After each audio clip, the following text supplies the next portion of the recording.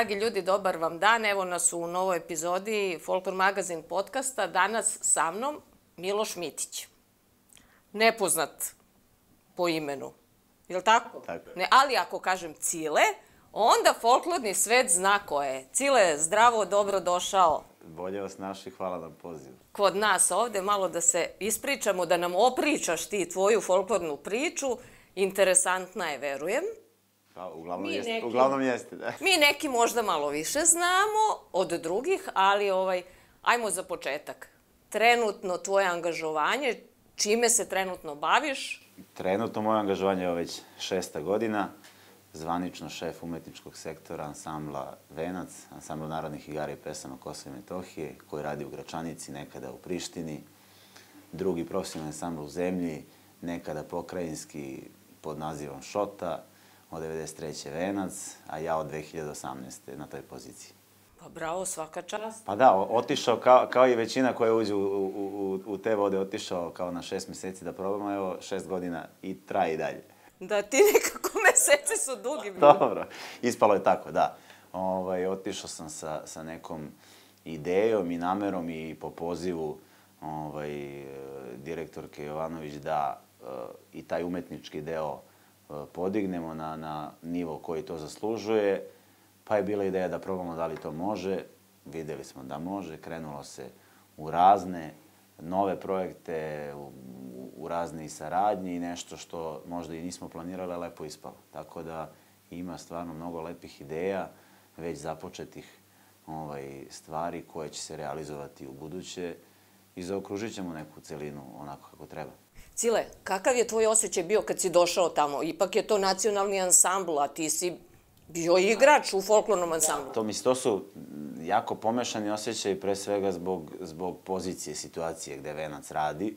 E, I ono lično i bezbednosno i sad odjednom iz Beograda, iz velikog grada, da se ode na Kosovo u malu sredinu, generalno malo mesto, samo po sebi Gračanica je mala, pa je to enklava okružena, kako će to da funkcioniše, da se kreće. A druga stvar, da, ovaj, e, jedna velika odgovornost da, da se uđe u profesionalni ansambl i da se tamo radi, da, da e, se dobije prostor na svakodnevnom nivou, radno vreme sa ljudima koji su tu angažovani, e, jako različita priča, ono što su meni ovaj, neki i, i- i stariji prijatelji, mnogi od vas pričali, ono kao, kao klincu da će Bog da dođeš u situaciju da vidiš koji su to problemi drugačiji u odnosu na amaterizam, ista umetnost, ista branša, e, ista emocija, ali na drugačiji način. E, to je jako bilo u nekom smislu, u tom umetničkom i, i, i zapušteno bez namere da se, da se neko osuđuje. Venac je stvarno preživao ozbiljnu golgotu od 99. na ovamo, e, bio u izgnanstvu, pa se vratili 2003 na Kosovo, pa odmah u martu 2004. dočekali onaj martovski pogrom. Pa, mislim, to su stvarno ljudi koji su e, e, sačuvali tu kuću da, da tih nekih ljudi koji su i dalje u ansamblu nije bilo, eto, i ja na kraju ne bi imao gde da se bavim ovim poslom. U Vencu, ovaj, na sreću, te takve e, jako stresne situacije su nestale, ansambl radi u, u, u jako dobrim uslovima, ovaj, u, u prostoru, tom starom delu Doma kulture u Gračanici koji je adaptiran, jako puno uloženo sredstava ovaj, od strane države, da se to stvarno e, dovede do nekog nivoa da bez problema funkcioniše profesionalni ansambl. E, I eto, lepo, e, lepo smo uspeli da, da usaglasimo ovaj, rad i tog opšteg dela koji se unapređivao u korak sa umetničkim, uradili smo e, pa svake godine nov program, e, preživeli onaj period korone kad smo uspeli nekako da, da funkcionišemo ovaj, e, sa raznim ograničenjima, što prištinskih vlasti, što e, naših republičkih u, u, u tom periodu i izgurali čak i taj veliki projekat prošle godine povodom 7 vekova Gračanice. Tako da smo negde nekih par, nekih paralelnih programskih linija uspeli da uspostavimo, a iskreno ansambl je zatečen sa nekih 45 minuta realnog programa na sceni. U ovom trenutku Venac e, ima gotovo spremno tri po sata programa različitih. Tako da smo stvarno, eto, za pet i po, šest godina napravili ozbiljan pomak. Nije bilo lako, verujem. Nije bilo lako, da, to je, to je jedno veliko davanje. Ja e, sa mnogim svojim prijateljima u ovom poslu pričam često i moj stav je e, venac i naravno kolo iznad toga, to je pozicija kao reprezentacija. Pa kad neko dobije priliku da bude selektor reprezentacije, te četiri godine ili koliko već traje taj neki mandat, to je potpuno posvećenje, jedno tako može.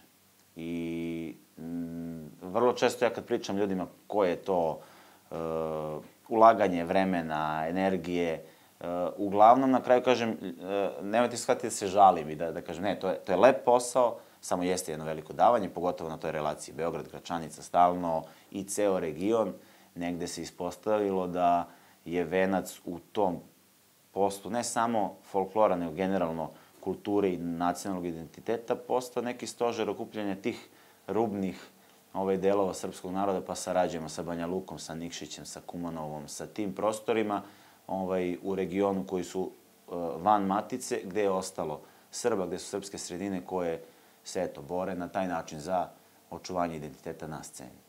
Da, mi ovde u Beogradu dobijamo informacije takve kakve su vezano za Kosovo i Metohiju. Verovatno je to drugačije na terenu. E, drugačije ima e, raznih situacija, susrećemo se sa, sa ovaj, različitim problemima, pogotovo ja koji stalno putujem. Ali negde sam i ja po prirodi takav čovek da, da e, širim neku, neku energiju zajedništva, koja, mislim, jako je teško to u tim uslovima raditi. E, mi smo jedina republička institucija na, na Kosovo i Metohiji, to je trn ovaj, toj drugoj strani, ali negde se radi na principu da to je kultura, umetnost, identitet, nešto što, što ne ulazi u sferu i politike i nekih drugih odnosa.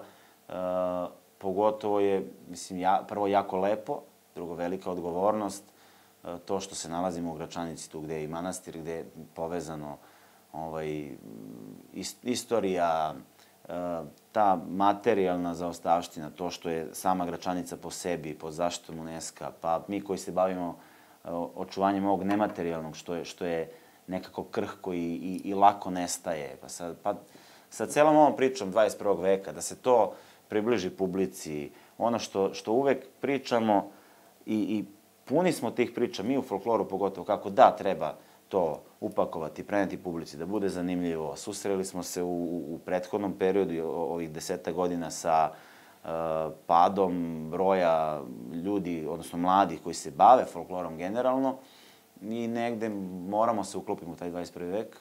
Ovaj, I to je, to je zaista veliko davanje i ozbiljna kreativnost potrebna da se to stvarno približi nekoj široj publici od onoga što su naši prijatelji ljudi koji se bavili folklorom. Ja negde mislim da je moja misija kao neko ko je jako mlad ušao u, u, u, te, u te vodi na te pozicije u profesionalizmu da, da negde probam da, da proširim spektar naše publike i da, da iskoristimo to što, što jeste nešto što dira publiku.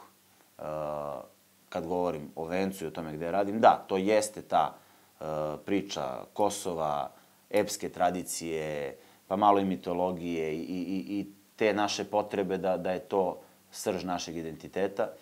I vrlo često ja spominjem to u raznim razgovorima, pogotovo sa, sa kolegama koji su godinama u poslu i negde m, možda robuju nekim ove stereotipima, tabuima. Ja kažem, znate šta, a pritom sam, da, po osnovnoj vokaciji istoričar. E, Troja je gotovo hiljada i po godina deo Turske države.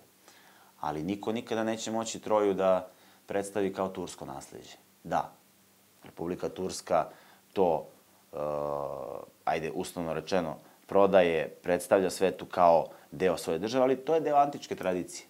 Na taj način mislim da možemo da prikažemo i našu tradiciju, gde god ona bila, da li ona ostala na prostoru Kosova i Metohije ili su to e, ti neki mešoviti krajevi Bosne i Hercegovine, Republike Hrvatska nekadašnje ovaj, e, vojne granice, vojne krajine. E, na taj način da, da očuvamo to. A tu malo kaskamo, 21. vek. Znači, ako je, ako je uh, prihvatljivo Grcima da, da ovaj, Brad Pitt glumi u Troji, pa zašto ne bi Miloš Obilić bio neko, neko svetsko ime i nije, recimo, ni Troja manje Grčka zato što je snimljena na engleskom jeziku, pa možemo mi to da približimo širim auditorijumu, da, da ostane u osnovi ona esencija narodna igra, pesma, tradicija, umetnost. Postigo si što si postigo u folklornom svetu, ali kako kreće tvoja folklorna priča? Moja folklorna priča, da, kreće pa onako e, iz duše. Ja sam kao, baš kao klinac, kao ono, mali dečak, još pre osnovne škole, bio opčinjen e, pre svega e, tradicijom u smislu života nekih ljudi u prošlosti. Moji roditelji su rođeni na selu, otac iz okoline Leskovca, majka iz okoline Babušnice, Pirotski okrug. I imao sam, eto, kao dete, neku sreću da imam dodira sa, sa ovaj, ljudima iz nekog pređašnjeg vremena. Kad sam ja bio dete, još uvek je dosta po tim selima bilo u životu starih ljudi koji su živeli tim životom.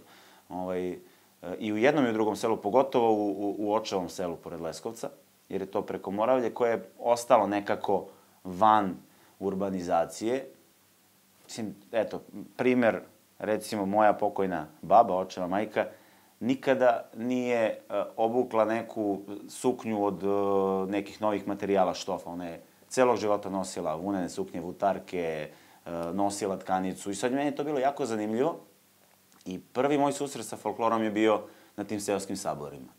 I recimo da sam ja kao dete od 5-6 godina tu leskovačku četvorku naučio na, na, na saboru ovaj, u, u, u Očevom selu Jašunji, pored Leskovca. I onda je to mene negde dovelo u, u, u kontakt sa tradicijom. Na taj način sam zavolao istoriju, počeo ovaj, da, da se interesujem za to. E, moji roditelji su generalno ovaj, jedna patrijarhalna, patriotska porodica, otac pogotovo vezan za tradiciju i tu sam negde ovaj, ja razvio kod sebe tu svest da meni to, da ja to volim, da meni to prija ovaj, moji roditelji se nikad nisu bavili folklorom, ali i otac i majka jako lepo igraju.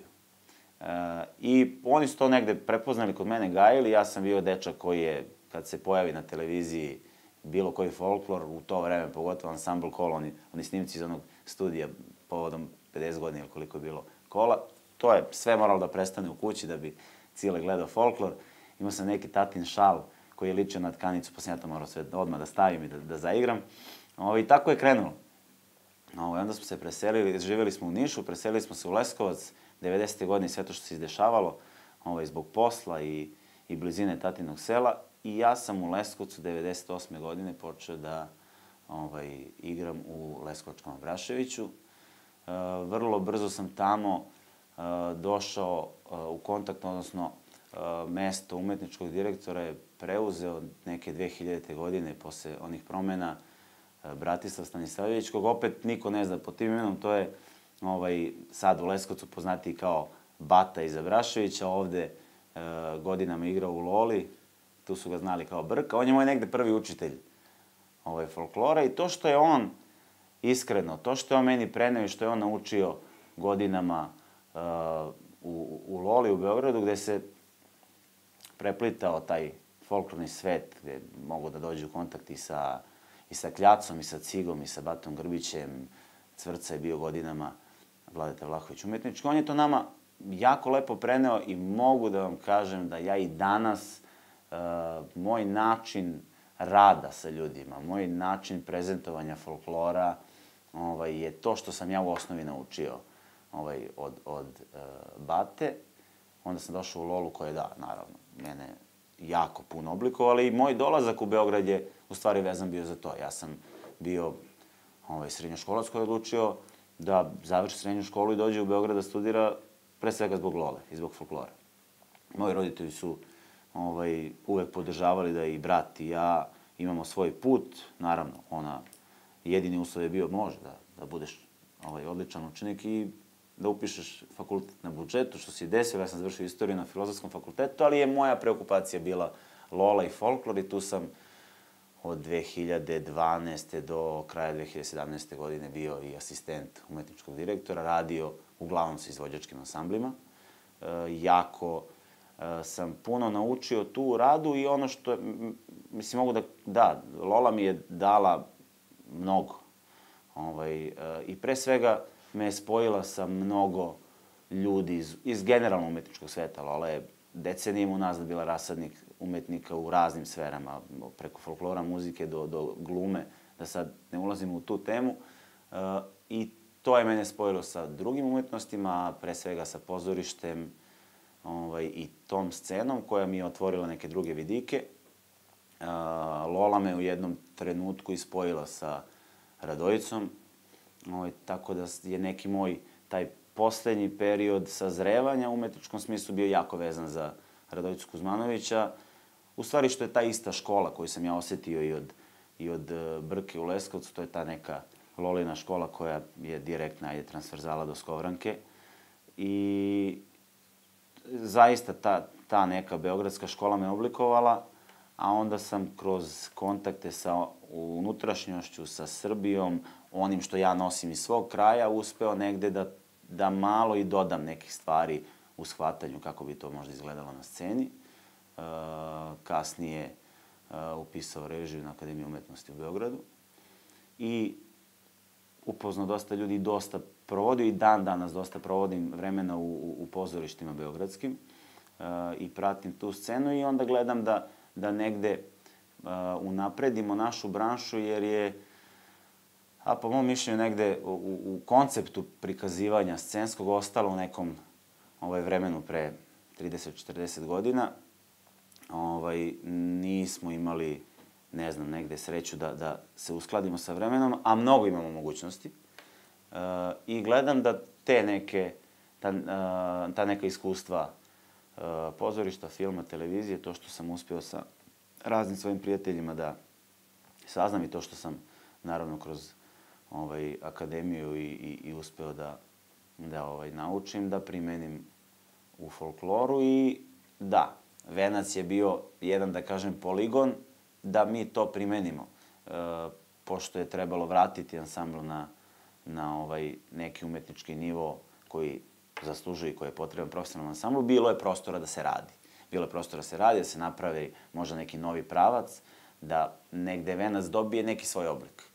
E, naravno, uvek ima ovaj, onih kontramišljenja i s pravom su se ljudi bojali da ću ja probati od venca da napravim nešto što liči na, na Lolu. Ali sam dovoljno svesna da to niti treba, niti sme da se desi.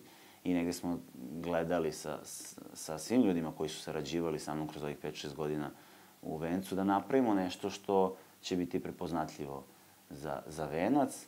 To jeste uh, to igranje malo bliže tradiciji uh, koje je njima ostavilo tu. Ja to negde predstavlja tu neku vertikalu u igranju, da oni e, ipak zadrže neku, neki duh.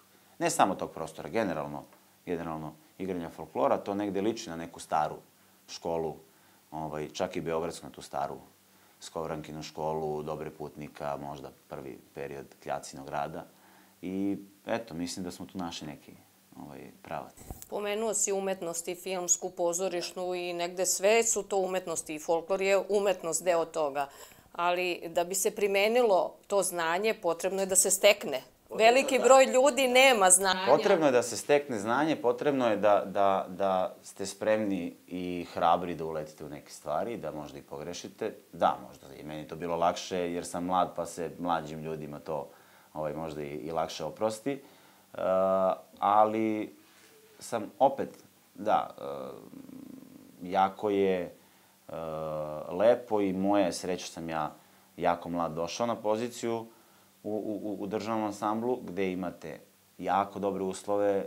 Uh, eto, mislim da, da spomenu, verovatno svi već znaju, ali i ansambl Venac je na budžetu Ministarstva kulture Republike Srbije uvek tu ima prostora da se uradi nešto što za čim mi maštamo kad smo u amaterizmu.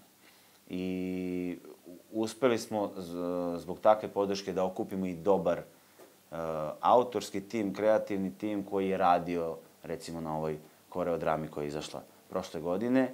Uh, I opet kroz razna neka poznanstva moja i nekih drugih ljudi koji su vezani na ovaj ili onaj način za folklor, smo mi došli do stvarno velikih imena. Do, do, do toga da, da je Vencu uh, kostimografiju za tu predstavu radio Boris Čakširan, koji je jedan od pa trenutno najboljih i, i, i ovaj, e, najangažovanijih kostimografa u svetu filma, koji u tom svetu traje preko 30 godina. E, da produkciju radimo sa Aleksandrom Safronijevićem, koji je neko ko se u prethodnih par godina zaista pozicionirao kao e, ozbiljna, on sa svojim timom, kao ozbiljna producentska kuća na polju narodne muzike, da reditelj celog tog projekta bude Dragan Elčić, koji je dekan Akademije umetnosti. I, i da ne pričamo o konstantnoj saradnji Venca sa muzičkom akademijom, sa profesorkom Ranković, Zakić, da, e, sa Zdravkom Ranisavljevićem, koji od prvog dana negde ovaj čovek koji sa mnom kreira tu umetničku ovaj, viziju Venca i našli smo taj neki neki put da se to, da se to primeni. Da, znanje mora da se stekne i stiče se svakim danom. I, e, i kad bi neko sad analizirao i venčeve nastupe e, i kako oni vizualno izgledaju, e, šta se tu dorađivo ili dorađuje e, svakodnevno, da, to je jedan proces koji je zauvek i koji traje i koji nikad ne, ne sme da prestane i tu imam opet i možda uh, još neku srećnu okolnost ti igrači koje sam ja pre svega zatekao u Vencu su ljudi koji su zaista godinama bili željni da, da se neko njima posveti. Da ne dolazi neko slučajno ili povremeno, nego da je neko tu i da se njima radi i da ostvari sa njima jedan, jednu zajedničku ideju i kontakt, jedno poverenje i verovatno, mislim kao i svakom poslu, verovatno tu ima ljudi koji e, možda sa mnom privatno nikad ne bi E, bili prijatelji, niti imali neki odnos, ali smo napravili neki odnos poverenja u sali i na sceni i, e, i oni m, najskeptičniji su e, počeli da veruju u to što radimo, daju se i bitno im je da to bude dobro na sceni. A to se desilo kada, eto, kada je recimo Venac posle sigurno više od dve decenije izašao na scenu Narodnog pozorišta u decembru 2018. i izveo svoj celovečerni program. Zbog rata i svega nemamo podatke kad se to posljednji put desilo, e, da li je to bilo još za vreme stare Jugoslavije ili, ili 90. godina, ali eto, taj, taj uspeh da u Beogradu, koji je e, glavni grad, gde je srž umetničkog sveta, da ansambl Venac uradi svoj celovečerni program, da pre svega kolege iz ansambla Kolo budu tu, da tim ljudima posle koncerta čestitaju, da porazgovaraju, to je nešto što je uh, dalo jedan jako dobar impuls igračima Venca da nastave dalje i onda se desio i još jedan program 2019. godine i ovaj posle korone koji se radio, boga mi, tri godine je trajao taj put od, od ideje do realizacije koreodrame 700 i mislim da je to negde i, i realnost. Mi smo uh, u folkloru i tu zaboravili da su to dugi procesi E, uglavnom se koncerti rade na 2-3 meseca, pa to uvek bude nešto što smo već videli, ali malo je drugačije upakovano i nikad nešto do kraja ovaj, dovršeno od, od početka do kraja. A, a ja spominjem često ovaj, na, negde ta ideja stvaranja neke predstave u folkloru se kod mene rodila ba, još dok sam bio klinac u Leskovcu. I tad se pojavilo, verovatno se ljudi sećaju i svi smo bili oduševljeni, ovaj, kada se u Bugarskoj pojavio prvi privatni profesionalni ansambl, ansambl Bulgare, uh, koji je uradio uh, svoju neku predstavu i viđenje svog folklora koji se zvao Ovo je Bugarska ili To je Bulgarija. To je neka 2002. ili 3. godine. Ja u tom trenutku imam 12, 13 godina i ja razmišljam, ja cile dok ti porasteš, ovo će neko da uradi u Srbiji. I desilo se da stvarno niko nije uradio to do kraja. Započinjali su mnogi. Uh, ono što sam ja negde želeo i uradio jeste taj moj neki dug prema ljudima koji su negde posredno, negde neposredno uticali na mene da počnemo nečega što je, što je postojalo, a postojalo je freska Viva koju je Bata Grbić započeo, odnosno realizovao 73. godine u Loli. To je nešto što sam ja znao, vladao tim materijalom i taj, u stvari, srž tog programa, tih nekih 15-20 minuta onoga što je stvarno urađeno kvalitetno i tada se zbog rokova i svega žurilo, zbog te neke američke turneje, počeli smo od toga. I to je osnovni početak te koreodrame iz, zbog, zbog različitih ovaj, e, okolnosti. Prvo zato što je to nešto što je jako dobra ideja koja je započeta i koja eto, traje do danas. Drugo što je Bata Grbić neko ko je uh, rodom sa, sa Kosova, odnosno iz Metohije, prizrenac. Treće, u nekom trenutku je on i sarađivao sa, sa Vencem, pogotovo kada su ovaj, izbegli sa Kosova, pa je uh, vrlo često bio u Nišu gost na Samblemenac. A i neka moj, neki moj odnos sa porodicom Grbić ovaj, i sa, sa Batinom suprugom Živkom, s kojom sam u kontaktu skoro deseta godina i sa njegovom čerkom Nenom i, i, i sinom Milanom i negde smo, eto, krenuli od te njegove ideje i razvili na, na, na sedam vekova Gračanici, uradili eto, tu koreodramu koja je neko prvo celovito delo koje se pojavilo. Hrabro, uh, ne kažem da, da nam nije bio zalogaj, uh, premijera, onako što kažu, ko na iglama, da li će da prođe i prošlo i evo godinu dana je prošlo od premijere. Premijera je bila 22. juna 2022. Znači nekih već malo više od godinu dana. E, svuda je to prošlo kako valja i, i svi zovu i, i, i traže taj program. Ovaj,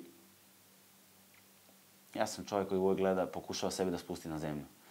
U Narodnom pozorištu je premijera planova.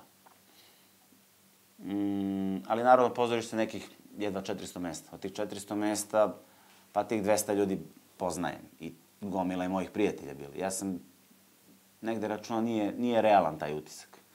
E, nekih sedam dana posle premijere je bila prva repriza na Kastelu u Banja Luci, gde je bilo 700 ljudi ili 800 u publici. Od tih 700 ja sam poznavao 20. I reakcija je bila identična. E, I svuda je to tako prošlo negde na, najbolji utisak je Srpsko narodno pozorište u Novom Sadu u novembru prošle godine gde je bilo hiljadu ljudi, 70 ljudi preko je ovaj, ušlo da, da, da pogleda to i eto, ispostavilo se da, da taj put koji je dugo trajao sa dobrom ekipom, sa, sa iskustvom iz raznih oblasti, sa raznim iskusnim ljudima u kreativnom timu, da to može da, da uspe, a ideja je nastala 2019. godine kada je uh, Srpska pravoslavna crkva proslavljala 800 godina autokefalnosti i Raško-Prizrenska eparhija 1000 godina svoje eparhije i ja sam bio razočaran na koji način je to ovaj, obeleženo u Novom pazaru gde je ova eparhija to radila i negde došao na ideju da ne da kritikujem, nego da upravo mm, sačekam koji je to jubilej da pomognemo mi koji živimo tamo na Kosovo i Metohiji, radimo i u Gračanici, da, da crkvi pomognemo da nešto što je deo njihove istorije i tradicije kroz našu umetnost prikažemo na sceni. I eto, desilo. Bilo je verovatno momenata tokom te tri godine kada je bilo ono kao još, što mi je ovo trebalo? A da, ali to je najlepši deo procesa. Ja, opet kažem, to su neki moji, moji susreti sa, sa procesima stvaranja nekih ovaj, predstava u pozorištima koje sam ja kao neki, ajde da kažem, posmatrač kroz svoje prijatelje ovaj, u, uspeo da, da vidim kako to izgleda i to jeste tako. I, ali tu je opet najbitnije poverenje i najbitnije davanje. Davanje koje uh, u nekom trenutku u profesionalizmu kod nas, a desilo se da smo od tih ansambala napravili preduzeća preduzeća koje se bave slobodnim danima, dnevnicama, honorarima, e, da li smo radili do 2 ili 2 i 15, da li sutra dolazimo u toliko sati ili ne. E, ponavljam, ja sam, negde vidim moju misiju da razbijamo te tabue i, i, ovaj, i neke dogme u poslu i umetnosti. E, I došao sam do nivoa da nije problem i u profesionalnom samo da se radi i dvokratno i popodne kad treba. Naravno, Uh, uz dobar plan, dogovore, to su ipak ljudi koji, kojima je to posao, koji imaju uh, porodice, decu, svoje privatne obaveze, ali da, kad nekom unapred organizujete, napravite plan, uh, bilo je jako iscrpljujuće, teško, radilo se i noću, ja sam negde od onih umetnika koji ne žele na silu da stvaraju.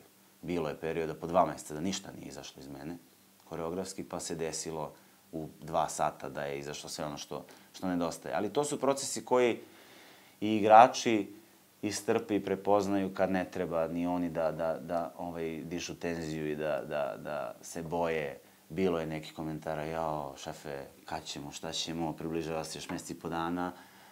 A ono ništa. Da, ali negde sam, negde sam vero, verovao sam u to. Ja, ja tako funkcionišem godinama, pogotovo u poslu, sve to nešto radim na osjećaj zato što znam koliko sam ja predan tome. I da, ništa od toga ne bi niko od igrača prihvatio da ja nisam 24-7 u tome.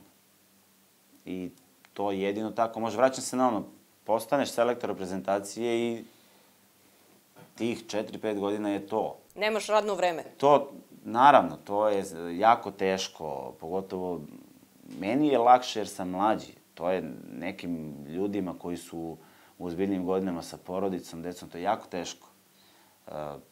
Da ne pričamo o primerima e, i umetnika i vrhunskih sportista koji su zbog takvih situacija rasturali svoje brakove i porodice. Ne kažem da to treba, daleko od toga, ali to neko davanje mora da postoji. I ti ljudi su krenuli za mnom zato što sam ja u tome hiljadu posto. Ako to može tako se kaže. Kako izgleda mlad čovek sa 15, 16, 17 godina dođe u Velegrad iz sredine kakva je Leskovac i uspe? Meni to sad izgleda sasvim normalno. Mm, ja sam to toliko, toliko sam verovao u to i voleo da nisam ja sumnjao da, da će se to negde desiti i poklopiti kockice. Mislim da je, da to najviše prija ljudima koji su mene usmerili ka tome. Mislim da to danas najviše prija tom Bati Stanisavljeviću, koji se sad povukao ni više na Leskovcu, on je direktor Doma kulture u Vuči, u svom rodnom mestu pored Leskovca. Mislim da je njemu najlepše kad, kad on vidi nekog malog cileta kog je sa 11-12 godina usmeravao i pričao besomučno priče i mislim da sam, pored svojih roditelja koji su obrazovani ljudi, ovaj, iz totalno drugo, druge sfere, ali završili fakultete i ozbiljno radili svoje poslove, mama i danas kao lekar, ovaj, ali je i, i Bata bio neko ko je samo mnogo pričao i verovatno mi on mene oblikovao tako da ja volim mnogo da, da govorim i da pričam. I to jeste jedan iz ove perspektive veliki uspeh, moj doći u Beograd, ali sam ja zaista, kad sam došao 2009. godine, zaista bio spreman na to. Uh, I u stvari to, to što se u tom periodu od neke 2000. 2001. godine do 2010. 11. u Leskovačkom Raševiću dok nije izgubio prostorije i, i posrnuo, to što se dešavalo i na koji način se radilo, stvarno smo bili spremni na, na takve izazove kao što je recimo bilo za jednog momka od 19 godina da dođe u Beograd i uđe u, u prvi ansambl Lole, koji je tad iskreno, gledajući i opet iz ove perspektive, jako jako respektabilan ansambl bio i bilo je jako teško ući u, u ansambl. Naravno, meni taj neki uh, verovatno period prilagođavanja preskočilo to što je sa mnom radio taj čovek i što sam ja na njegov obraz došao tu i data mi je prilika. Ali sam ja tu priliku na prvoj probi opravdao. I jedan sam od redkih, možda je ružno što ja to pričam o sebi, ali jedan sam od redkih koji je u prvi ansambl Lole na prvoj probi ušao bez audicije. Moja ovaj, negde satisfakcija je zbog moje povezanosti sa, sa pokojnim Radovicom, što je on jedan od tih koji je na taj način ovaj, ušao u Lolu neke 68. 9. kad je došao iz Banja Luke. Tako da i dan danas verujem da ta neka ovaj, uslovno rečeno Skovrankina, odnosno Lolina škola u folkloru, je nešto što je uh, oblikovalo scenski folklor cele Jugoslavije nekadašnje uh, i da nije bilo tih par ljudi koji su započeli to 44. u Beogradu upravo, ne bi toga bilo ni u Zagrebu, ni u Skoplju, ni u Prištini, u generalno u Jugoslaviji taj scenski folklor kakav se stvorio i napravio. Ja sam to sticajem okolnosti istraživao kao diplomsku temu na katedri za istoriju Filozofskog fakulteta. odnosno na katedri za istoriju Jugoslavije, gde sam i diplomirao i bavio se tom istorijom scenskog folklora. To je nešto što, ja sam bio spreman na to došao i nešto što gledam da bez nekog nametanja, ali jako držim do toga da e, gde god se pojavim, a u prethodnih 3-4 godine ovaj, sam na Balkanu, ajde da kažemo, bi, bi, prostor bivše Jugoslavije, vrlo često po, po ansamblima, što kažu, ne dam na, na Beogradskoj školi, stvarno je mnogo, mnogo dala ovoj, ovoj umetnosti i, i jako puno dugujemo Beogradu, odnosno toj školi koja je oblikovala scenski folklor, naravno onome što su naši preci sačuvali i ono što smo pronalazili na terenu, odnosno što su pronalazili neki ljudi koji se bave istraživanjima i pružili nama šansu da mi to ispričamo na sceni. Produžetak toga Olga Skovran poručuje? Da, produžetak toga, da, eto, mislim, to je, dok sam bio u amaterizmu, meni je u nekom trenutku bilo krivo što su ljudi zaboravili neke velikane. Ja sam odrastao uz te priče. Čak malo i rigorozno, opet ću se vratiti na, na Batu iza Braševića, Leskovačkog. E, lepo je što je to bilo vreme gde još nije bilo e, toliko razvijenog interneta, YouTube-a i, i mi kao, kao deca iz provincije nismo imali mogućnost da mnogo toga gledamo što se tad dešavalo. Dešavalo se svašta na sceni. Znači, baš otišlo se u neku krajnost, u neku vulgarizaciju estetske to. Mislim, što se desilo generalno sa celokupnom umetnošću ovaj, i 90-ih i kasnije. I onda smo mi sve to folkloru dobijali od njega kroz priče i, na, što se kaže, na kašičicu gledajući neke VHS kasete samo kod njega u kancelariji. Ono što bi on nama predstavio, to su bili stari snimci ansambla Kolo, Lole, Krsmanovića i ja sam tad e, čuo mnogo anegdota, legendi o Skovranki, Kljaci, Cigi, celoj toj plejadi umetnika i došao u Lolu koja meni bila zaista svetinja u tom trenutku. I sreo neke mlade ljude koji možda samo su čuli za te neke umetnike čuli za Batu Grbić, nemaju pojma. Čuli za Skovranku, da, svi, mislim, u Loli svi znaju za to ime, ali ništa više od toga. Onda u istraživanjima krenuo da pričam sa tim starijim ljudima, smo imali problem da, da rekonstruišemo najosnovnije detalje u njenom životu, koje je toliko dala, da ne pričamo drugim. Ovi umetnicima im neke, ja mislim da to bilo 2013. 14. Tako, oko 70-godišnjice Lole, meni pade na pamet da to što ja već jesam prikupio mnogo građe i video i, i, i fotograđe i puno anegdota da ja plasiram na Facebooku koji je tad počeo da, da biva jako popularan. I da, ja sam napravio tu stranicu Olga Skobran poručuje, gde sam u stvari njene reči, našao sam jednu u godišnjaku Muzeja grada Beograda, ona je po odlasku u penziju napisala uh, jedan tekst o tome na koji način je ona radila u kolu i prezentovala ovaj, narodne igre. Ovaj, ne mogu tačno setiti, nešto se tako zove taj njen rad, uh, scenska prezentacija narodne igre u ansamblu Kolo.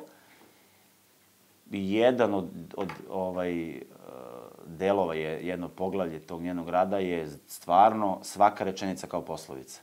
I posle sam kroz neka predavanja koje sam radio u ansamblu Kolo za pripravnike, ja to nazvao postulatima scenskog folklora i zaista jesu.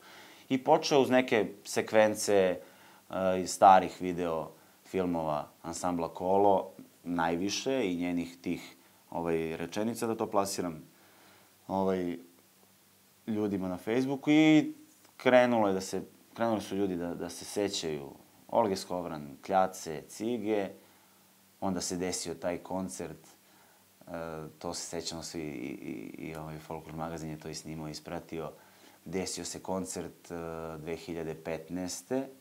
Uh, prvi koncert sećanja na velikane povodom 20 godina od smrti Olge Skogran 10 godina od smrti Bate Grbića. Uh, uradili smo omaž njima, onda se desio dve godine kasnije sećanje, sećanje na velikane 2 povodom 20 godina od Kljacine smrti. I ja sam tad u jednom intervjuu za Folklor magazin obećao da, da će to nastaviti. To je 2017. Ja sam 18. već otišao u Venac uh, i poklopile su me neke druge obaveze, ali da, stojim iza toga da će doći trenutak kad, kad će se to uraditi. Sad postoji ideja za možda neka igrano dokumentarna ostvarenja, sad već sa ovom, ovim znanjem i iskustvom mi to deluje jako zanimljivo i mislim da ćemo moći to da uradimo. Da, to zaslužuje i Ciga Despotović i Dobra Putnik i ovaj, Cvrca i sad i Radojica posle svega, tako da ima, mislim, aj sad, nabacujem ovako imena, ne bih da, da se neko naljuti da nekog nisam spomenuo, da ne pričamo o, o toj drugoj, ovoj paralelnoj sceni Krsmanović i Branka Marković, koja tek zaslužuje ovaj, uh, jedno istraživanje koje sad, istraživajući tu scenu, došli smo do toga da je u stvari to nešto što je Narodno pozorište igralo kao nacionalni balet. Da je Ohridska legenda koja je nastala 50. godine u stvari igrana u onim famoznim belim opancima koji su izmišljeni tad za Narodno pozorište u Beogradu. Narodno pozorište je osvojilo sve sa Ohridskom legendom tom koja je ovaj, koreograf bila Margareta Froman, koja je žena koja je uradila to u, u stilu onoga što je Brana Marković posle radio Krsmanović. To su stvar, mislim, to su stvarno divne stvari koje uh, moraju ostati zabeležene. Uh, meni je bilo interesantno da slušam neke starije umetnike o tome, uh, a onda sam shvatio u jednom trenutku, pa nemam ni ja prava da to držim za sebe. Mora to da se zapiše. A opet živimo u vremenu, šta sad, zapisat ćemo, objavit ćemo knjigu, to će opet malo ljudi da pročita. I opet se vraćam na, na ono moje 21. vek, moramo to nekako oblikovati i približiti ne samo mlađu, nego gotovo svoj publici. Sad svi funkcionišu na taj način da je to ovaj, neka online varijanta. I ima tu jako puno prostora. Uh, I to, to tek, tek nas čeka taj, taj posao.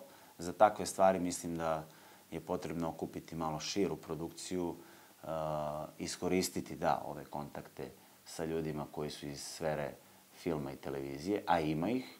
I neverovatno je koliko, ovaj, kad uđete u, u razgovor sa ljudima iz vrhunskih, vrhunskih umetnika iz polja televizije i, i, i filma, koliko su na određeni način povezani sa folklorom. Uvek je neko ili igrao kao klinac, ili neko poznavao, sarađivao sa nekim. Mnogo njih sarađivalo sa Batom Grbićem, poznavali Radojicu, sećaju se ovog, se, sećaju se nekih drugih velikih umetnika iz one velike Jugoslavije, Ivana Ivančana, uh, nekih ljudi koji su radili taj deo zapadnog dela Jugoslavije, ta čuvena ove škola folklora u Badi uh, na Jadranu, tako da mnogo su to stvari koje su koje, koje neko čuva za sebe i tek kad, kad se sa nekim upoznamo, saznajemo te stvari. Mislim, eto, detalj samo, pošto rekao sam da krećem se često ovaj, po, na prostoru bivše, bivše nam države i, i sticajem okolnosti u Beogradu, posle nekog snimanja, u, upoznam e, sada jednog od jako popularnih glumaca u Hrvatskoj, Frana Mašković, i kroz priču dođemo do toga da je on e, rođen u Dubrovniku, odrastao tamo i do svoje 19. godine igrao u ansamblu Linđa. Tako da su to, to su neke stvari koje nas povezuju. I mislim da na toj platformi može da se okupi opet veliki broj umetnika i da, bez obzira na to kako se politički crtaju granice, da mi sarađujemo dalje i to što nas veže, a to jeste tradicija ovog prostora koja se prepliči i ne može jedna bez druge, da možemo jako lepo da je prikažemo.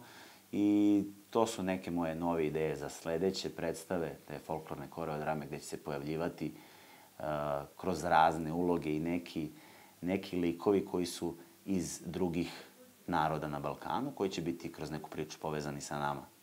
Ja te priče sada, zbog svoje pozicije, vezujem za prostor Kosova i Metohije, odnosno stare Srbije, tog prostora koji je današnja Severna Makedonija, i deo Crne Gore, i deo jugoistočne Srbije, što po kulturi tradiciji jeste jedan prostor.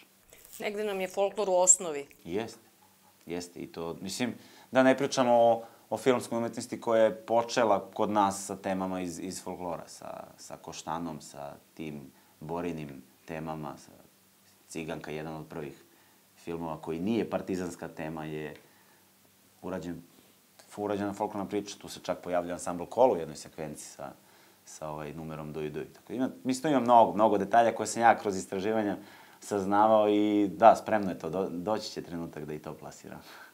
Jasno, jasno, malo je ovo vremena za tebe i pričat ćemo mi još, naravno. Ali ajde da se vratimo na tvoje početke. Negde si nam pričao, ali ajde sad da podeliš i da pričaš gledalcima. E, tvoje odrastanje i življanje u, Narodnoj Da, nošnji. tako je. To postoji jedna zanimljiva priča koju ja, i svi kao daj ispriča, jeste. Ja sam, uh, ono što sam rekao, da, uh, mnogo, mnogo provodio u, u, selima svojih roditelja. Dok nisam krenuo u školu, mislim, to je veći deo bio tamo. Mogu da kažem da negde od svoje pete do sedme godine jesam živeo na selu, ovaj, jer to u Nišu već nije funkcionisalo kako smo živeli zbog cele te situacije. Mama je počela da radi u očevom selu uh, kao lekar u, u ambulanti i onda sam ja, pošto nisam išao u školu, bio više sa njom u selu, a stariji brat, pošto je išao u školu sa tatom u Nišu. E, I bilo je tih starih šnajdera u, u ovaj, selima i oni meni sašiju, pošto sam ja naravno insistirao, sašiju narodnu nošnju. E sad, pošto sam dobio nošnju u jednom selu od tatine familije, sad mora i ova druga da se pokaže. Pa sam ja dobio od nekog deda Radeta Šnajdera, koji je bio neko, recimo, 24. 5. godište. Ovaj, on je bio Šnajder, on je meni sašio nošnju, tamo ta Ljuberađa, mamino selo pored babušnici. Ja sam imao dve neke nošnje i bukvalno živeo u tome. Toliko da sam ja do nekog četvrtog, petog razreda u školu odlazio tako. I da, desila se situacija, ja sam prvi razred osnovne škole, moj brat je četvrti i mi smo samo tu godinu išli u istoj smeni u Leskovcu, tako je bilo ovaj, uh, u toj našoj školi podeljeno. Mog brata je u tom trenutku zaista bilo sramota da ide sa mnom u ulicu on je išao s jedne strane, kao stari brat i posmatra da se meni nešto ne desi, a ja s druge strane u ulici u Narodnoj nošnji. Jedino zimi sam nosio cipele, ja sam čak u letnjem periodu ovako, ja sam išao, išao u opancima u školu, ovaj, nosio šajkaču, stvarno sam bio atrakcija u Leskovcu u to vreme, čak kad sam otišao na prvu probu uh, septembra 98. u, u, u Leskovački Abrašević, ja sam bio razočaran. Jer sam ja ušao u salu gde su svi u patikama, u šorcevima, pa šta je ovo? Kako oni igraju folklor, a nisu narodnoj nošti. Posle sam ja ukapirao, naravno, kako stvari stoje, ali da, jesam. Ja sam zaista želeo da živim taj život i, i mogu vam reći, bez obzira, da, što smo odrastali u Nišu koji je veliki grad i kasnije u Leskovcu, te dve godine uh, mog većinskog, ajde da kažem, uh, življenja u, u selu je ostavilo na mene uh, jako dobar trag. Mislim da je to nešto vrlo pozitivno što, što ja imam u svom odrastanju. Uh, pogotovo što to je bilo kod, kod tatine familije, kod tatinih roditelja. Mm, deda je bio jedan od najcenjenijih domaćina u kraju i kod njega je to bilo tako da, bez obzira što sam ja imao 5-6 godina, ja sam ujutru sa njima na njivi, gde god treba, pomagao koliko sam mogao, ali sam bio deo zajednice. E, od malena volim životinje, najviše volim konje, moji su čuvali tad konje, ja, ja nisam dozvoljavao da se krene bez mene, ja sam bio taj ko mora da upregne konja. Znači, stvarno, to je, sad iz ove perspektive, ljudi koji me poznaju kako ja danas živim, e, pogotovo to na koji način ja živim prethodnih 10-15 godina u Beogradu i cela ta moja urbana priča, to je ljudima neshvatljivo. Da sam ja stvarno tako odrastao. I da, moji roditelji su od onih koji su gotovo svakog vikenda ovaj, odlazili na selo. To je 13 km od Leskovca, tako da je jako blizu. Ovaj, I stvarno smo vezani za, za taj, da kažem, ruralni deo naše zemlje, koji je mene, da, povezao sa tim što jeste esencija folklora. I ja sam na to jako ponosan. Mislim, ponosan što i dan danas ovaj, to što, što imamo na selu postoji, funkcioniše, e, otac je otišao u penziju pa se već i povukao tamo i to je sad neka, neka ovaj, priča koja jako lepo izgleda. Da, nama je kao klincima i meni i bratu bilo smaranje da idemo u selo svakog vikenda, a, ali to je jako pozitivno što imamo u detinjstvu. Ja sam vrlo rano i prestao da, da odlazim. E, jako rano sam počeo da, da radim ovaj pedagoški deo u folkloru. E, I vrlo često se susrećem sa situacijom da kad se upoznajem sa ljudima u poslu, ljudima je čudno, čekaj, imaš, ajde, kad sam počeo, 28, 9, 30 godina, na toj si poziciji, radiš posao, ljudi te poznaju, opet je to nešto što je, što je taj Bata iz Abraševića prepoznao kod mene. Ja sam, verovao ili ne, prvu probu održao 10 dana pred svoj 14. rođendan. U februaru 2004. sam ja održao prvu probu, naravno nekoj deci, nekim pačićima, u Abraševićevoj školi folklora u Grdelici. Čak ne ni u Leskovcu. I uvek sam bio neki terenac i to me izgleda prati celog života. Ja, pošto su uglavnom ovaj, bile asistentkinje, ovaj, devojčice koje su, devojke koje su radile sa, sa ovaj, decom, one su radile u, u Abraševiću u Leskovcu, e, prostorije, uslovi. Ovaj, bio je još jedan asistent koji je stariji od nas dosta, ovaj, e, čak sam ja, eto, posle svega i pobratim na svadbi, spomenuo bi njega, Predrag Čvorović, ali on je već čovek imao svoj posao i nije mogao toliko da šeta iz Leskovca. Ja sam bio terenac, ja sam radio u Grdelici neko vreme, pa sam posle odlazio u Lebane, pa dok sam se ja dovukao do Leskovca, da radim tamo. A onda je i, i ovde tako počelo. Ja sam i, dok sam bio u, u Loli, u Beogradu, ovaj, sa Veljom Agovskim radio u Kudu Vinča, ovaj, pored Beograda, pa sam stalno bio tad, tako neki terenac, pa otišao na Kosovo.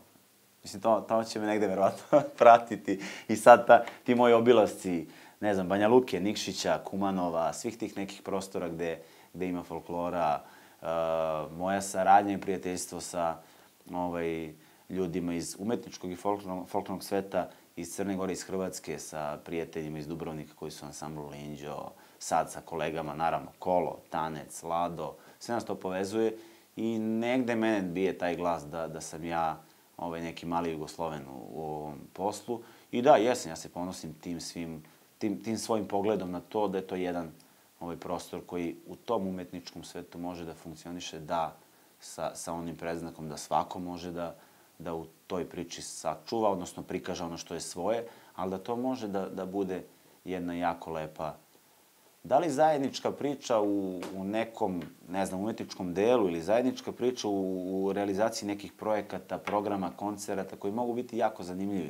E, moja teorija koja se, eto, i pokazala kao tačna, da smo možda ja negde poslednja generacija e, možda i tehnički potkovanijih igrača zato što smo, bez obzira što se raspala ta država, bar na probi igrali ceo onaj jugoslovenski program.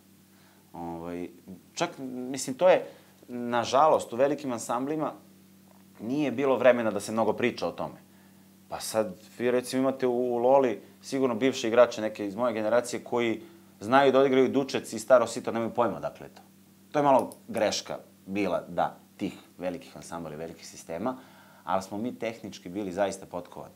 Jer smo znali da igramo i polku, i bugarku, i osogovku, ili Ratevku iz Makedonije, da sad da ne nabrajem. Stvarno, mislim, to je nešto što, to je nešto što uh, radim i sa igračima u Vencu i kad ima prostora, sad u ovoj produkciji i, i, i ovo kako smo se zaleteli sa koncertima i, i angažovanjem, to je otprilike u zimskom periodu imamo neke, ajde da kažem, ustavno rečeno, slobodne dane da mi malo zakačimo nekog drugog prostora, što je osveženje ljudima i što je ne znam, kad bi to uporedili sa, sa ovaj, drugim umetnostima, pa da, ovaj, sposobniji su uh, i glumci koji mogu da glume različite žanrove. Naravno, postoji ono što nekom leži i tako biramo i uloge i to opet prepisujem od kolega, tako i stvaram svoje programe. Da igračima delim te uloge u programima po nekom senzibilitetu, da bi mogli da, da se ostvare u tom sa nekim ciljem i idejom da se oni kroz, ajde, tu, da kažem, edukaciju kroz rad i kroz iskustvo da budu sposobni da bar mogu dve neke uloge, dva karaktera da prikažu kroz igru. Jako je teško, ovaj, kad pričam sa kolegama iz baleta ili savremene igre, njima je jako široko polje. Nisu ograničeni onim što je njima materijal kao osnova, ovaj naš izvorni. I sad ta neka siva zona između toga šta je izvor i onoga dokle možemo da odemo, to je meni najinteresantnije, ja tu stvaram. I to je ona skovrankina škola koja je negde dala neki okvir kako može. Uh, uvek, da, volim da vidim iskustva sa strane. Ovaj jugoslovenski prostor poznajem iskustva, vrlo često se zanimam za ono što se ne samo dešava, da, mi smo uglavnom okrenuti istoku, Rusija, Bugarska, šta se tu dešava ovaj, u, u predstavljanju narodnih igara, ali u poslednje vreme sam recimo oduševljen kako to rade Izraelci ili, ili daleki isto, kako to rade Kinezi, kako oni, oni predstavljaju svoju tradiciju. I treba učiti od, od, od tih ovaj, od tih naroda, od tih država, kraja umetnika, kako god. Tako da sve sve je opet, vraćamo se na sve, je, je uh, jedno celoživotno učenje, znanje nikad nije konačno. Ono što mislili juče da je ovaj, konačno znanje, sutra se malo ne promeni, nego oplemeni, dodaju se nova iskustva, nova znanja. Koliko si vežbao u sali cijele? Da bi došao do ovoga, do čega si došao? Ne bih mogao sad to da merim nekim satima, ali godinama sam bio onaj koji je uh, bar sat vremena ranije tu, u prostoriji, u Loli. Ja nisam od onih koji su vezani samo za salu. Ja smatram da ono što je prateći programa, to je uvek smo imali taj divan klub u Loli koji nas je kupljao. Znači bio sam ranije, ulazi u salu pre svih, izlazi u posle svih i kad sam bio i asistent i solista, uh, uvek sam vežbao. To je, eto, ajde, ako, ako ćemo da izmerimo po nekoj satnici, pa sigurno sam nekih 5-6 sati dnevno igrao. Da li ja vežbao ili, ili ovaj, uh, vodio probe, ali sam ja i posle tih proba sa nekim svojim igračima, pripremnim ansamblima, ostajao. Mislim da sam u jednom trenutku, recimo sa 23 ili 4, imao uh, slobodno samo nedeljno. Svakog dana imao neke probe. I što je meni jako pomoglo. A, eto, kad se vratimo, znači ja od, od, od malena, od kako sam negde spoznao svet, muziku, ja sam neko ko voli da igra i meni to nikad nije predstavljalo problem. Čak i sad začudim sam sebe jer sam malo ispao iz forme ovaj, zbog milion drugih obaveza u poslu, sam začudim sebe kako, ovaj, kako me slušaju, sluša telo i kako me sluša noge, ali ja to opet se vraćam, ja to negde radim na neki osjećaj ko sam stvorio kroz sebe, o, ovaj, a stvorio sam ga tako što sam iskreno, ja sam svoju igru najviše unapredio uh, slušajući priče o tome kako su neki veliki umetnici igrali. I onda se ispostavilo, recimo, da sam ja prvi put se susreo sa tim nekim, ajde, arhivskim materijalom sa 20, 20, u svojoj 21. godini. I sve to kako sam ja zamišljao što su mi pričali, je otprilike bilo tako, ima do toga i kako vam neko prenese. Uh, I mnogo sam naučio kroz te priče i kroz to što sam saznavao kroz istraživanja, a imao i sreće da uh, u Loli sam uh, opet nekih, recimo, tri ili četiri godine radio sa veteranskim ansamblom i okupljao ih i imao prilike da igram sa njima na probama. Sad bilo je tu ljudi koji su i dalje vitalni, koji mogu da odigraju i koji bez obzira na, na nemogućnost u tim nekim poznim godinama, ipak su imali u sebi uh, onaj karakter koji vam prenesu, taj neki, ono što mi zovemo treptaj, osjećaj, ono što osetite kad nekog dodirnete. U stvari, to je ta neka, ja mislim, energija koja se prenosi. I tako sam unapređivao sebe i naravno, ono, ono suvo vežbanje, mislim, morate da, da nacrtate skicu da bi crtali crtež, odnosno sliku. Ja sam tu skicu radio sam, vežbajući, a ovo lepo i, i one finese kroz, kroz rad sa svima. Mislim, meni, meni je mm, umetnost generalno postala uh, negde deo mene i života da ja s kim god da razgovaram, ja razgovaram na taj način.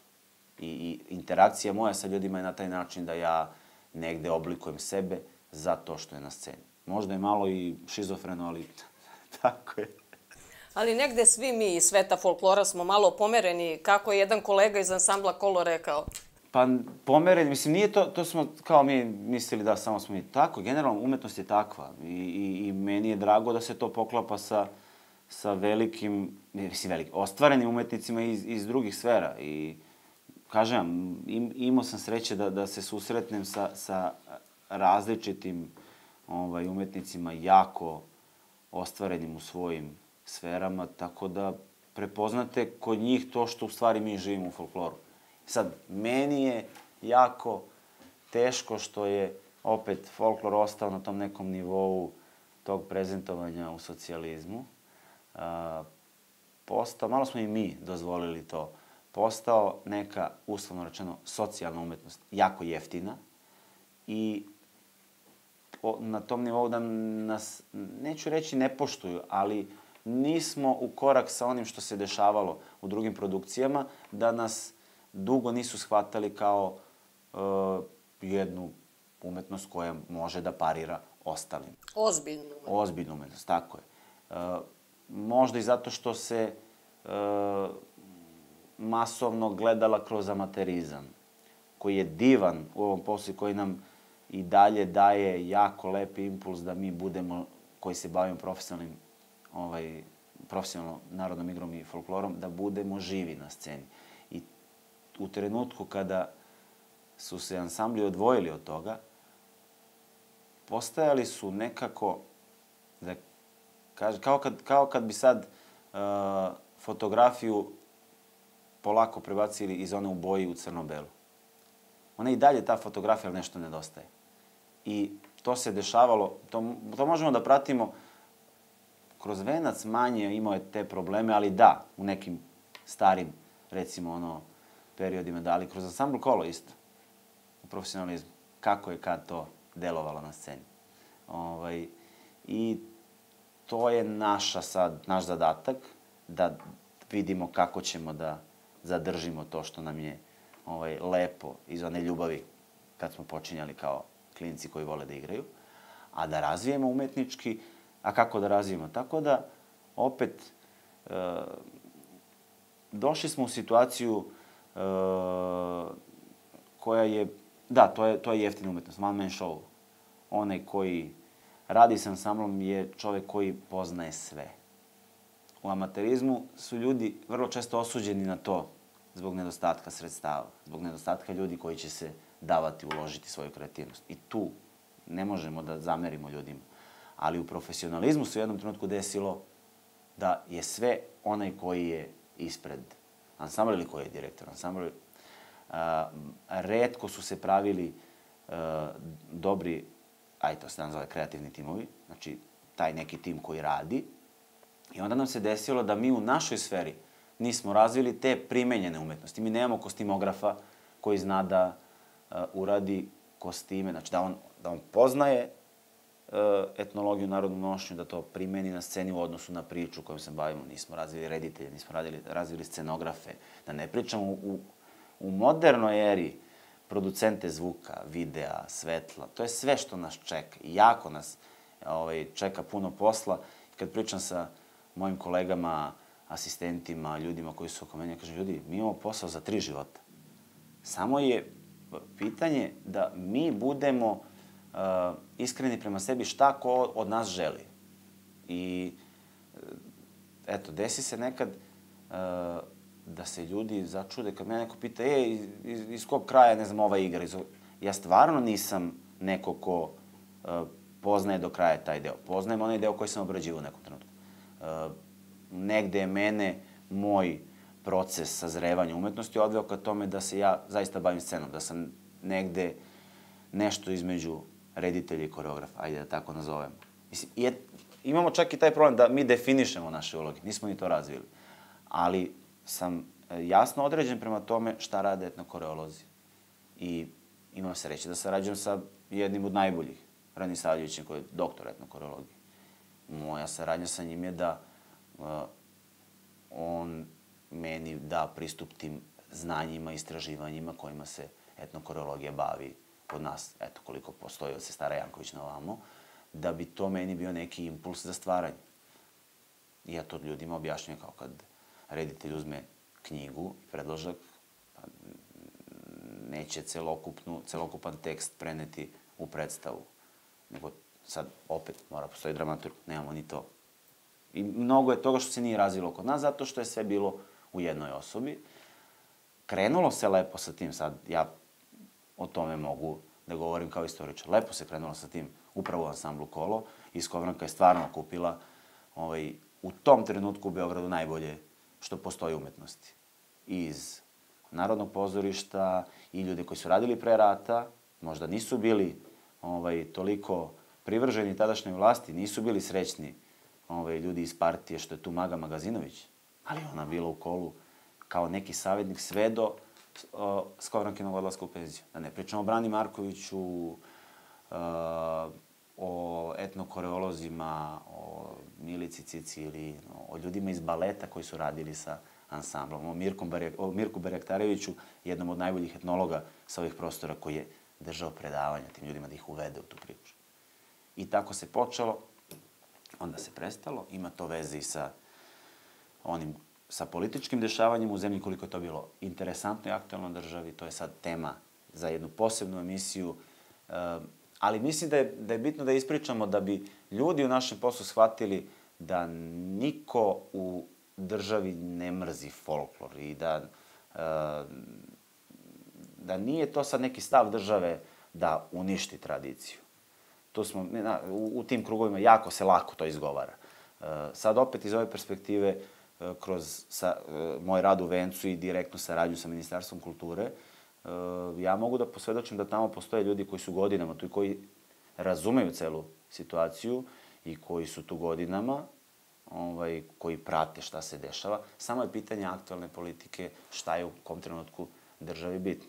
Scenski folklor se kod nas, odnosno u Jugoslaviji, razvio zato što je bio jedini način da se razbije tadašnja politička blokada, da se kroz kulturu i umetnost ode ili na zapad ili na istok za, aj sad širi auditorijum, Jugoslavija u jednom trenutku bila blokirana država, nije bila ni na istoku ni na zapadu i desilo se da 1950. godine prvi iz zemlje izađu zajedno, tada predstavljeni kao Jugoslovenski nacionalni balet, Lado i Kolo na turneju u Švajcarskoj. I 51. Ohridska legenda u Edimburgu. I to se razvijalo sve dok se nisu napravili nesvrstani. Dok država nije napravila neki svoj prostor kako će da deluje.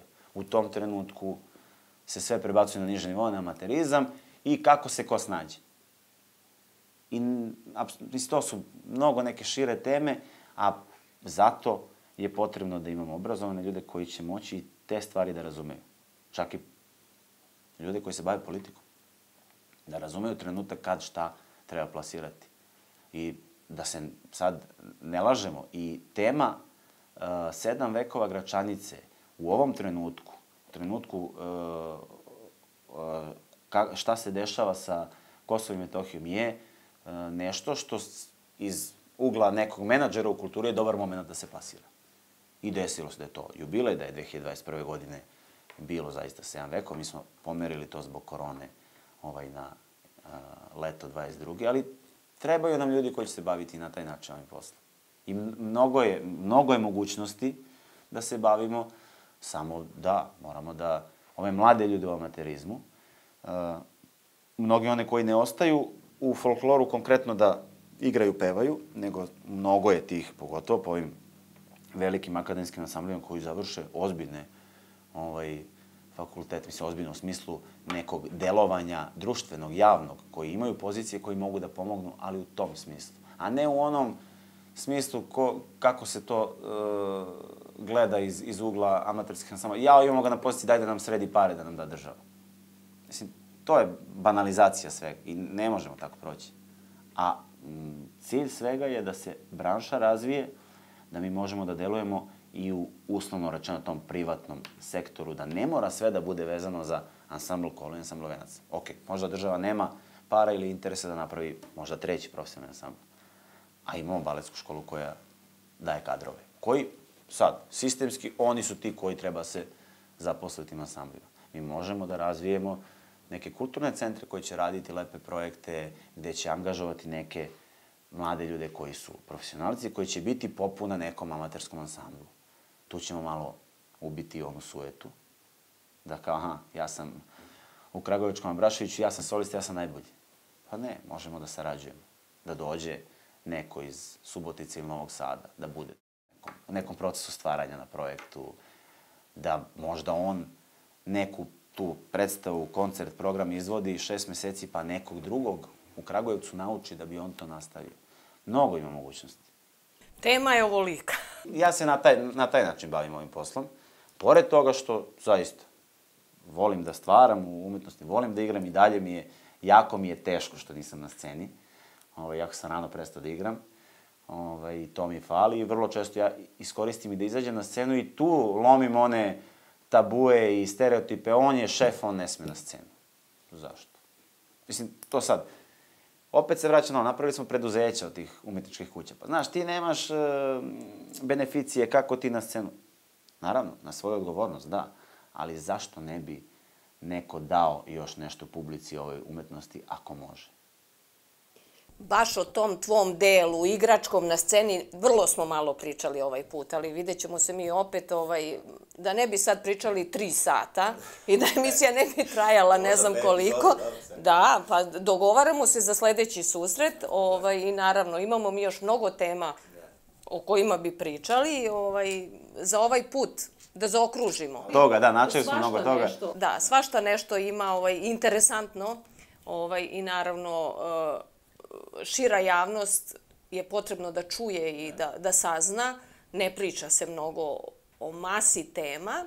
Evo, mi smo sad malo zagrebali. Da, mo, mo, možda da, od, odvukle su me i pitanje i teme u tu, u tu sferu, malo smo pričali uh, o, o meni, ali ja nekad i izbegavam to. Da, mislim, volim da pričam o tim stvarima, ali da, ovaj, bilo je prilike da ljudi dođu da gledaju, sad ne često, ali eto, ajde, kad smo već kod te teme da, da, završimo, da završimo sa tim, i ja sam negde bio skeptičan da li da se pojavim na sceni i u okviru uh, programa predstave 700 sam jednu minijaturu posvetio Bati Grbiću. Ja sam Živki, njegovoj suprugi, obećao pre deseta godina da ću uraditi minijaturu koja će biti inspirisana onim što su njih dvoje snimili u Starom Nagoričnom 70. godina.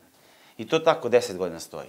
I sad se na, namesti da to uklopimo u, u, u ovu priču. Uh, umeđu vremenu sam ja pronašao tačno temu, muziku koja će biti to, aranžmanski urađeno zdravko, to sredio, sve to, ma pršti. Tip top.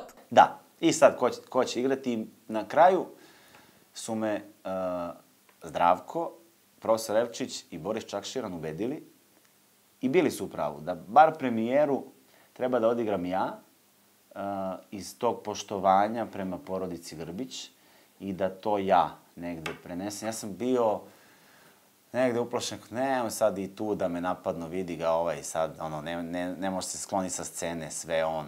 Jer vrlo često se, da, susrećemo sa, sa takvim komentarima, ali iskreno meni je jako prijalo i meni je bilo lepo što je na toj premijeri bila i Živka Grbić i Nena, I Milan je bilo je Milan radio svetla. ovaj, pošto smo prijatelji radio ceo dizajn svetla i radio svetla na premijeri. Ja sam to odigrao tad i na uh, reprizi u Banja Luci. I onda predao solisti Grbović koji sad to igra. Ovaj, ali verovatno će se desiti još koji put. Imam, imam negde potrebu da izađem sa ansamblom, ali da odigram nešto u, u ansamblu, na tuti, da sam s njima. Jer, jer smo već sad u takvom odnosu da bi to meni prijalo da možda niko i ne primeti to. Ne, u, u nekom mestu, ne znam, da li će to biti na Kosovu ili gde god, samo na nekom ono, koncertu. O tome ćemo u sledećoj epizodi. Važi. Dragi gledoci, to je bilo sve za danas. Sa Ciletom nema kraja priči, naravno. Zadovoljstvo je bilo. Tako je. Ovo, ja sam uživala, naravno, kao i svaki put kad smo razgovarali, ali evo ovog puta delimo sa gledaocima i obećavam Cile će opet doći, opet ćemo pričati druga, treća, četvrta epizoda, kako god, koliko god bude bilo potrebno. Prijatno, svako dobro.